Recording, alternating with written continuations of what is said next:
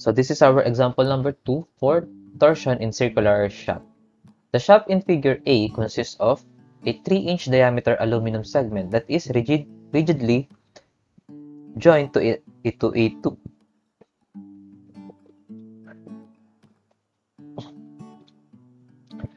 So this is our example number 2 for torsion in circular shaft. The shaft in figure A consists of a 3-inch diameter aluminum segment that is rigidly joined to a 2-inch diameter steel segment. The ends of the shaft are attached to rigid supports. So, ito yung ating rigid support. Okay?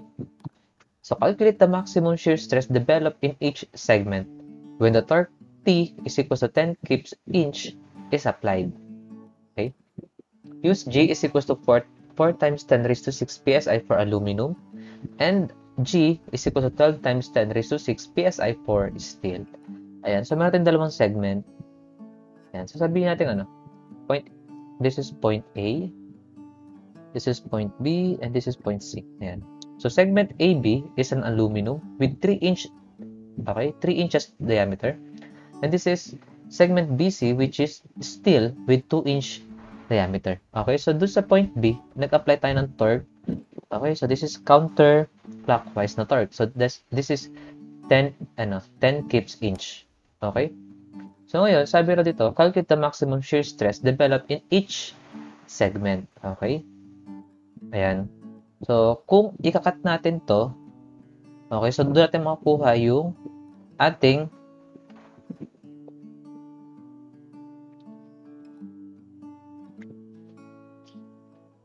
Okay, so kung ikakat natin tong ano, segment AB natin, doon natin makukuha yung internal torque for the aluminum. And dito, kapag kinat natin, doon natin makukuha yung internal torque ng steel. So, i-drawing natin sa FBD. Okay? Ayan.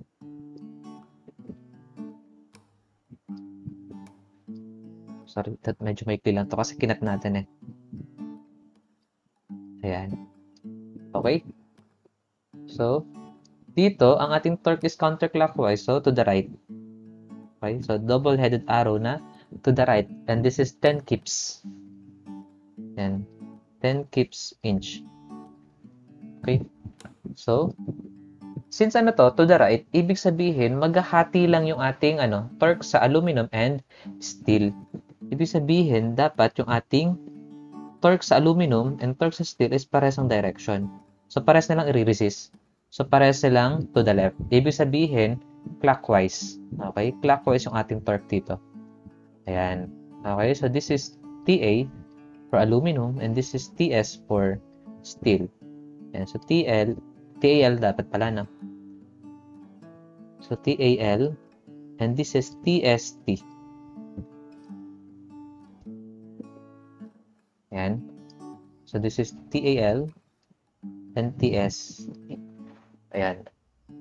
So, by summation of torque, so by summation of, sorry, nasanay ako sa force kasi.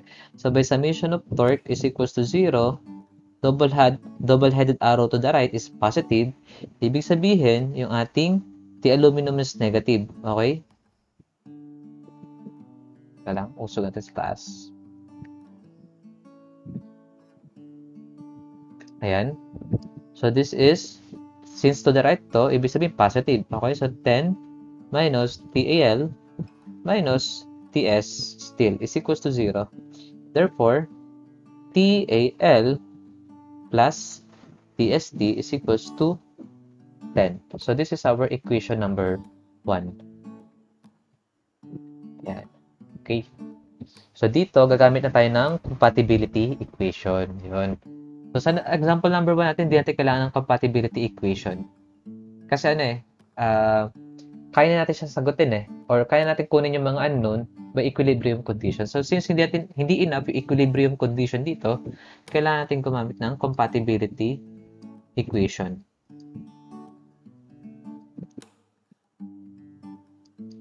Yan. Compatibility equations. So, sabi ko nga sa introduction, kapag compatibility equation sa torsion, gagamit tayo ng angle of twist. So, since ano naman eh, um, since pares naman yung rotation ng ating ano, yung rotation ng ating torque sa aluminum and steel, ibig sabihin equal din okay yung ano yung ating angle of twist for aluminum and angle of twist for steel. Yan. So, angle of twist for aluminum is equivalent to angle of twist for steel. So, this is TL over GJ for aluminum is equals to TL over GJ for steel. Ayan. So, this is T aluminum multiplied by the length for aluminum that is 6 feet. So, 6 feet. So, gawin natin ano? 12. Ah, okay. So, kahit hindi na pala. Pwede natin i-convert ng feet kasi magka-cancel din dito eh. So, pakita natin kung paano magka-cancel. Yan. So, 6 feet over G. Ang ating G for aluminum is 4 times 10 raised to 6 PSI. Ang J natin. Okay. So, solve natin yung mga J natin pala dito. So, G, uh, J for aluminum. Ang J natin for aluminum is pi r to the fourth Okay? Or, yung diameter na lang pala, no? So, pi d to the fourth over 32. So, J aluminum is equals to pi. Ang diameter nito is 3. Okay, so, 3 raised to 4 over 32. 7.952. So, 7.952 inch to the fourth. Okay? So, ano naman, for steel. So, J steel is equals to pi. Ang din naman nito is 2. So, kahit di natin isulat, alam na rin ninyo yan. Okay? So, ang J steel natin is equals to, ang papatalan natin dito is yung diameter. So, this is 2 inches. Okay? And so, 0.5. So, 0.5 pi inch to the fourth. Okay. So this is aluminum. So 7.952 inch to the fourth. Ayan. So, ikit na natin to. So, TL multiplied by 6 feet is equals to TS steel multiplied by length. Ang length nito is 3 feet over G. Ang G natin is 12 times 10 raised to 6 PSI multiplied by J. Ang J natin is 0.5 pi inch to the 4. So, ito yung sinasabi ko sa inyo magka-cancel. So, di natin kailangan pa i-convert. Yan. So, ito. Yan. Cancel to, cancel to, cancel ang PSI, cancel din to. So, halos familiar sa inyo.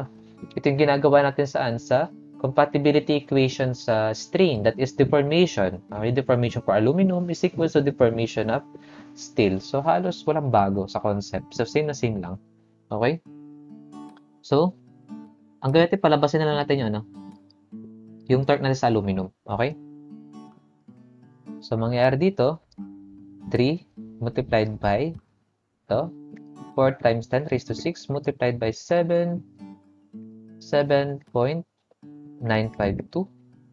Okay, over 6 multiplied by 12 times 10 raised to 6 multiplied by 0.5 pi. Yan. So, 0.844. So, 0.844 TS steel. Yan, makakuha na natin. Ito na yung ating equation number 2. So, yan. Substitute na natin yung ano, aluminum. So, magiging, okay, ano natin? substitute equation number 2 in equation number 1. So, the aluminum. So, point, uh, 0.844 TS steel pa, plus TS steel is equals to 10. Okay? So, ang ating TS steel is equals to ilan yan? 0.844 multiplied by X plus x is equals to 10. Ayan. So, 5.423. So, 5.423. Siyempre, ang unit natin dito is kips inch. Ayan. Kips inch. Okay? So, therefore, ang ating T aluminum niyan is equals to 0.844 of steel. So, multiplied by 0.844. So, 4.577. 4 4.577 keeps inch. So, para sila na clockwise. Okay? Yan. So, makuha natin yung ano, share natin sa aluminum and sa steel. Okay? So, shear natin, shear, shear stress natin para sa aluminum is, okay, PR over J for aluminum. So, ang torque natin sa aluminum is 4.577. So, keeps siya, no? So, magiging KSI to. Okay? So, keeps inch. Okay? Multiplied by R. Ang R natin is, okay, so 3 inch no, divided by 2. So, 1.5 inches. Over J. Ang J natin for aluminum is 7.952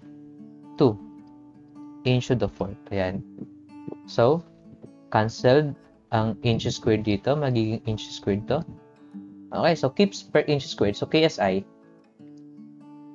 So, shear aluminum is equivalent to 4.577 multiplied by 1.5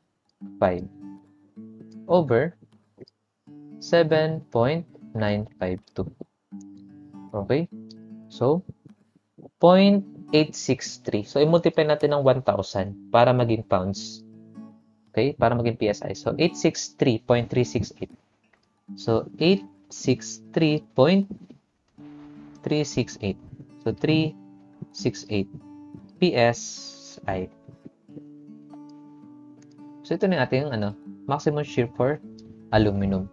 Next, for steel. So, shear stress for steel is equals to PR over J for steel. So, ang ating ano, uh, torque for steel is 5.423. So, keeps inch. Then, i-convert natin into pounds. Okay, so pounds per keeps. Ayan siya. Then, 1, ah, sorry, hindi yan 1.5. Ang diameter natin sa steel is 2 inch. So, 1 inch ang ating radius over J. Ang ating J is 0.5 pi inch to the fourth. So, cancel ang keeps. Cancel yung inch squared. So, dito is inch squared. So, makukuha natin dyan is PSI. So, ang ating maximum shear stress for steel is 5.423 multiplied by 1,000 multiplied by 1 multiplied by 0.5 pi. So, 3, 4, 52. 0.389. So, 3, 4, 52. 0.389. Okay, so PSI. Ayan. Okay. Siya. So, ito yung ating example number 2 for torsion in circular shaft.